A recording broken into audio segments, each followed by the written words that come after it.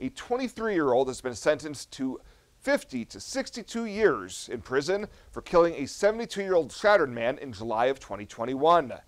Ian Sage Littlemoon learned his fate Thursday morning when he was sentenced by District Judge Travis O'Gorman. A jury found him guilty in October on charges of second degree murder and use of a deadly weapon to commit a felony.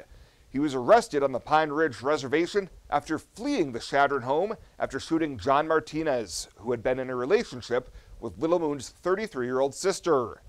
Littlemoon was sentenced to 40 to 50 years on the murder conviction and 10 to 12 years on the weapons conviction, with both to run consecutive to each other.